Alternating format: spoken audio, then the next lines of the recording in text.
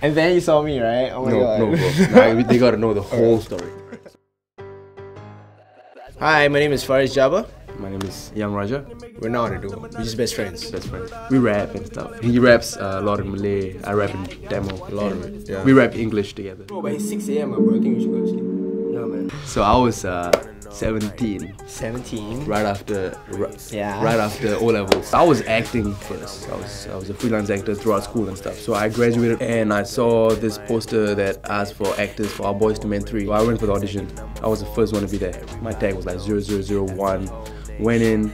They were literally casting for a funny Indian guy. Literally, right? So I thought I was a pretty funny Indian guy. So I was like, okay, let's try it out. So I was there. I got the role.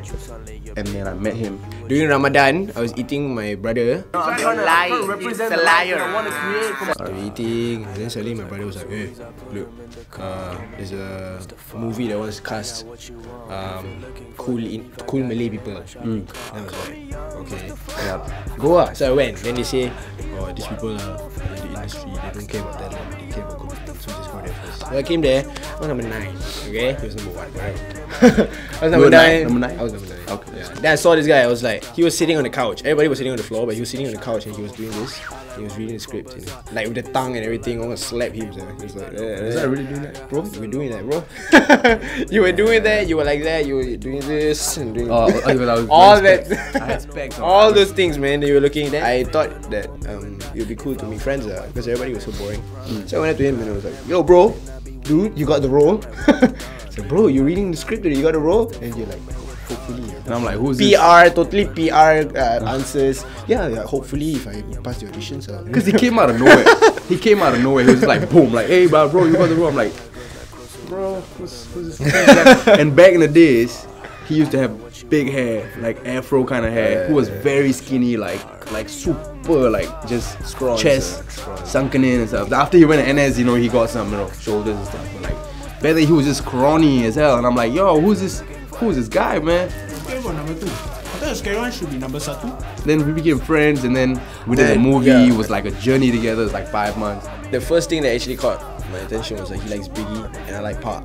So it's like perfect. Uh, and he looks up to Diddy more than Dre. I like to focus on the business side of things Mm. to make sure that we don't fail the structure of things because at the end of the day, these are all careers, right? Mm. And he like to focus on the art side of things, on how to better himself as an artist. So when we come together as best friends, it's always like, bro, this is what you gotta do to improve yourself. And I'm like, this is what you have to do to improve yourself. And it's always Yeah. like a constant, you know, uplift together.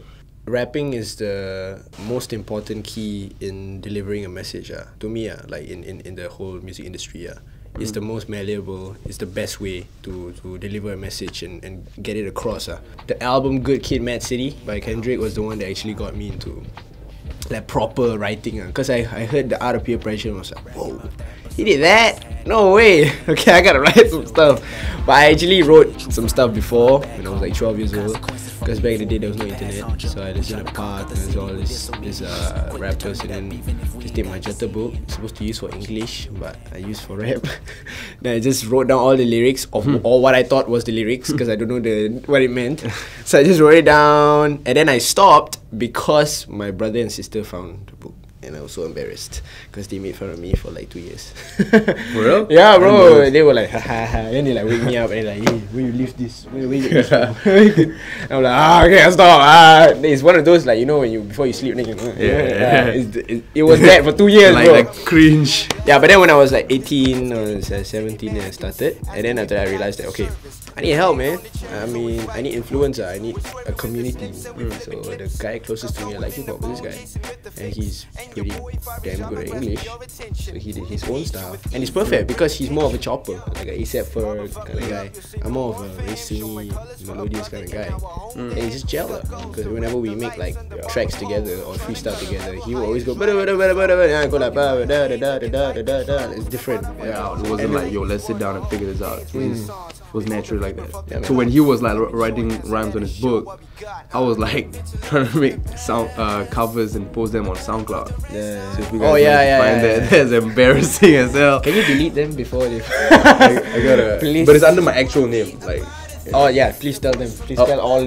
Please tell the whole world, bro. That is Rajid Ahamed. I gotta delete it, bro. I gotta, Right now. I gotta deactivate it. Like, Me and uh, Raja likes we, we love to dance lah. We we we actually bonded through like just Yeah. partying, you know, and then going out with friends and stuff like that. Yeah. And there used to be this this club called Refuge.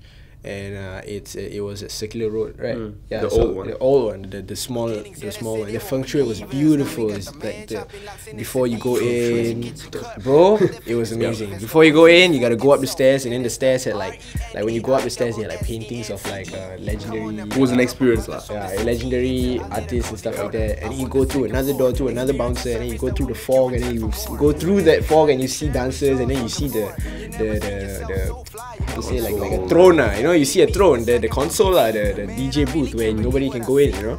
So we see rappers there all the time, you know. We every time Shay pulls out with his entourage, he knows We're kids, like we're like what? yeah, we, we, we, we look at them, bro, that is they're so cool, bro. then they, they came up, and then sometimes they would shake our hands because they know us from somewhere, and then they're like, hey, yo, man, what's up, man, what's up? man?" Shook our hands, ew. It was literally like that. the cool people shook We're our cool, hands. yeah. I dove deep into uh, local music, yeah.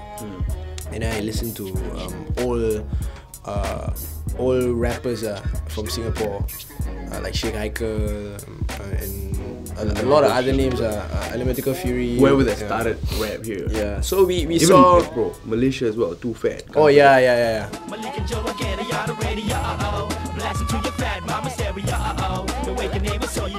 Too Phat is the is the biggest Biggest influence, lah. It's like, the biggest local influ- influence for, for us. They were the ones that introduced uh, hip hop into Southeast Asia in this in this region. So it was so important because without them, done. My brother grew up with in their timeline and he actually introduced introduced it to me, trickled down to me, and I I, I showed it to him. That's why going on Numbers Baris with Joe is the craziest thing that has ever happened in my life.